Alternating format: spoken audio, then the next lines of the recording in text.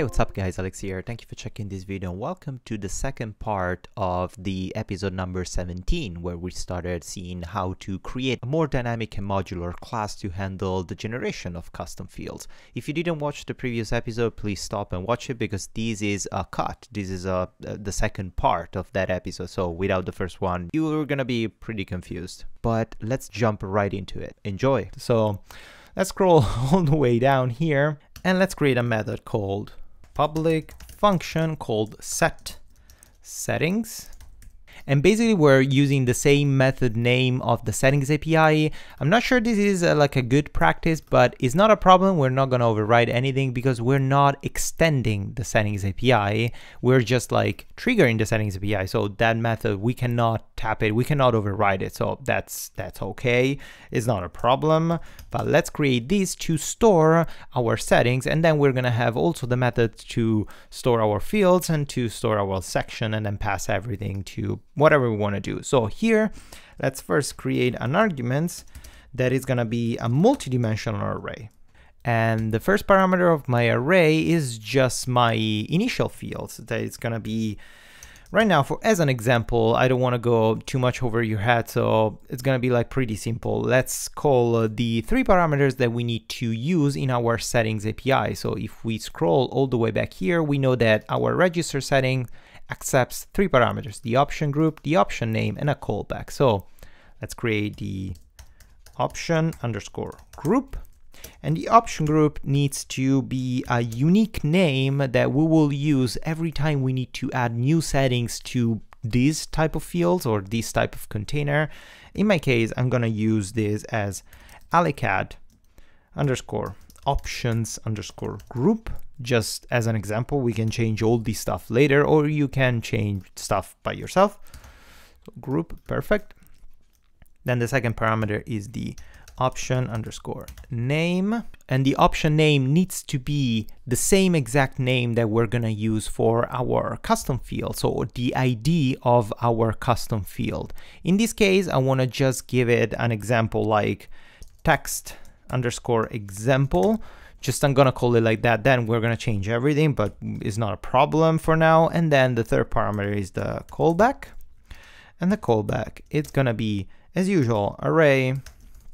We can use what we learned from the previous lesson, the this callbacks that calls a uniquely declared method that basically I'm gonna call alecaddd option group, but of course alecaddd options group all camel case and let's create that method in our callback. So here scroll the way down public function alecaddd options group the setting pass automatically whatever field we declare. So in our case here, we declare an option name, the text example. In my case, I'm gonna create these, uh, I'm, I'm gonna handle these as an input field. So we're gonna get a callback with the actual input. And what we need to do here, we need to simply return the input. This callback is necessary if, for example, this input, we need to do some uh, modification here before returning the input. If, for example, we want to validate the input,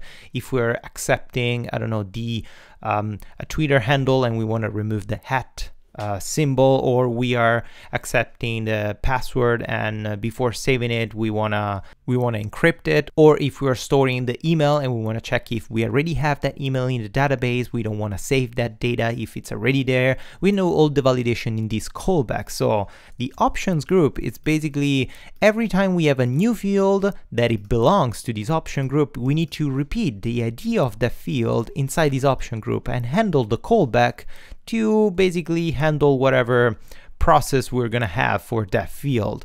I know it's super confusing, but that's how WordPress works, unfortunately. So now we have these arguments. We can call the setters for the settings and pass these arguments. So we're gonna populate the settings. So let's say dollar this settings. Let's call the set settings. And let's pass our arguments variable. Wonderful. Let's do the same for the sections. So let's copy these and let's change these for sections. And here the array of argument is basically um, the same that we declare here, not in the callback, sorry. In the section, we have the ID, title, callback, and the page. So in my case, it's gonna be ID, title, callback, and then another parameter that it's page. Let's change this immediately, otherwise we're gonna forget sections and we can't pass the arguments because it's a variable declared inside a method, so it's not outside, it's not gonna interfere with these other arguments. And here, let's change a bunch of stuff. First, we need to declare the ID of our section in order to use it to print it and do all the other kind of weird stuff that we wanna do. So in my case, for now, I'm gonna just call it admin underscore index because I'm gonna print it in the admin index, but this is just temporary. The title is something that we're gonna print, so let's just call it settings for now, just an example. And again, here we can uh, call our callback in order to handle whatever we want to print in our um, sections. And the section usually is used just to print content, so it's not really necessary to have a callback, but for the sake of this tutorial, I'm gonna create a callback, simply add admin section, something like that. Uh, let me create the actual public function alecaddd admin section. We will not get any parameter from this and we can echo just a message to say uh, check this beautiful section or something like that. I don't know. That's super silly, but semicolon at the end as usual. Okay. And the page, the last parameter that we need to pass is the actual page where these is gonna get printed. And in order to get the actual proper page where we wanna print this section, basically we need to refer to the menu slug of our first page, that in our case is Alecaddd plugin. But if you wanna print that settings in the, I don't know, custom post type subpage, you need to grab the menu slug of that specific page. So in my case, it's gonna be just Alecaddd plugin. Let's print it here as a string Perfect, we are setting the section, awesome. And the last thing that we have to do, finally, we need to set the fields. And also in this case, we can copy all this stuff and it's gonna be ah, so good when we're done. And then let's replace these to set fields. Let's copy these and let's update also these. And the arguments of the fields, if we check again, are six. The ID, title, callback, the page, then the sections that we just declare, and then a list of arguments. So let's do it. First, we have the ID that needs to be identical to the ID that we declare for the setting. So in our case is the option name text example. So let's declare the ID as text example. This is super confusing, but that's how WordPress works. If you have a field, a field needs to be inside a setting group and the option name of the group needs to be identical to the ID of the field. Super weird, but that's how WordPress works, sorry. The title is gonna get printed when we print the actual field, so in my case is just uh, text example, whatever. The callback, also in this case, we need to declare what callback we want to do with our field and in our case we want to print just a simple HTML input field so let's create a callback to text example. Let's copy this and let's create a proper callback public function text example. And yeah, we can simply echo an input field, an HTML input field. So let's generate the input field. Then it's going to be a type of text and then class, we're gonna use like a built-in class of WordPress that it's inside uh, the administration area, so regular text, these are all like standard thing.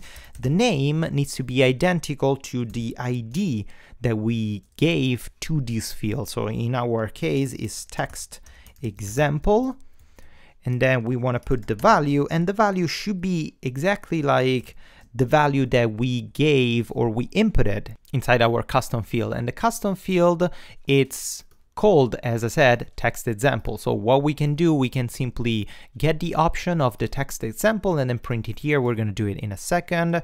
The placeholder, uh, just to have something nice to look at, it's gonna simply be text example or something like write something here, whatever. Then we close the input tag. Okay, here we want to print the value because When you access this page the first time, the input is completely empty, but when you save it, you want this value to be filled with the whatever value you saved. So in order to do that, we need to create a variable called value or whatever you want to call it. It's totally up to you.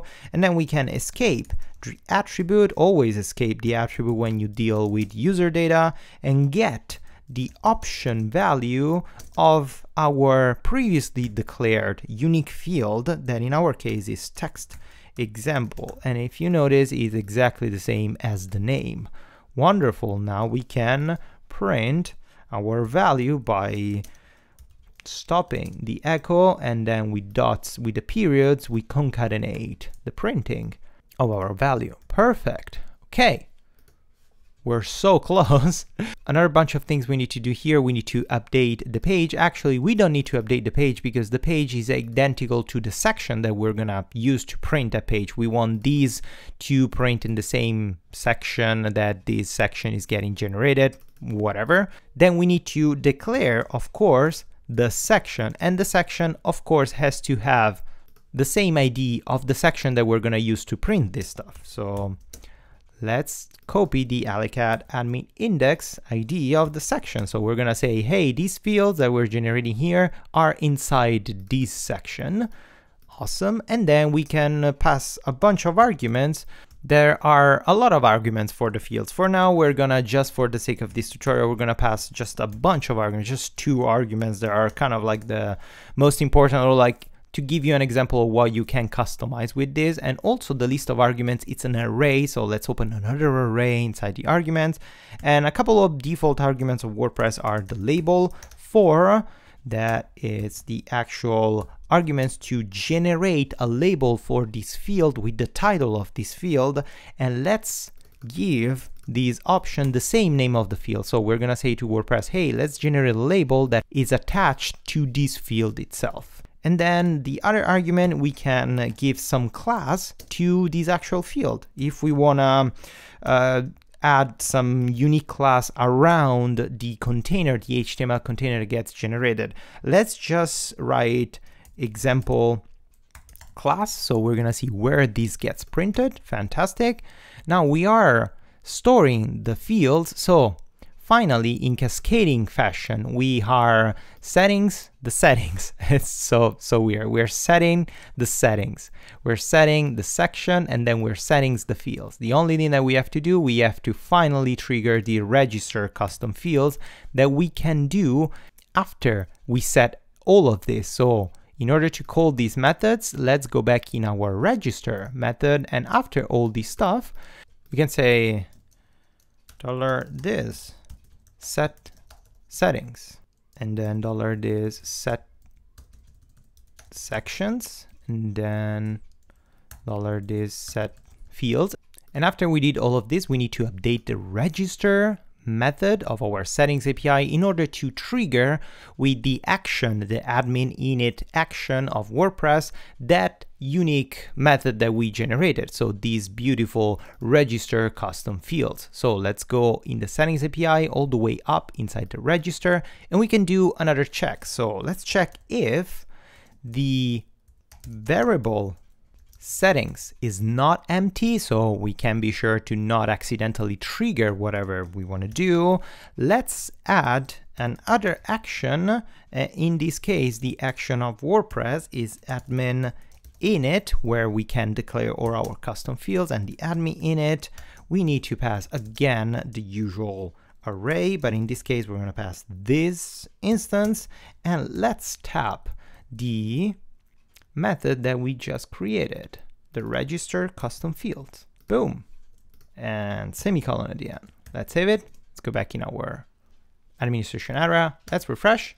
Perfect. We don't have any PHP error, we don't have any issue, but the thing is that we're not printing anything, of course, because we didn't update our template. So if we access our admin.php, that is the template that we're using for the page where we attached all our fields, it's completely empty. So in order to print all the custom section, all the custom fields inside this thing, we can simply use built-in methods of WordPress in order to print those things automatically. And also this video was pretty long, so I had to split it again and uh, basically put the last part in the last video. I apologize for this super long tutorial, but this was a really complicated section and we just finished the second part. So just have fun with these, all the knowledge that you gained from this video and the next and last part for the settings API will be released in a couple of Thank you so much guys and as usual, happy coding!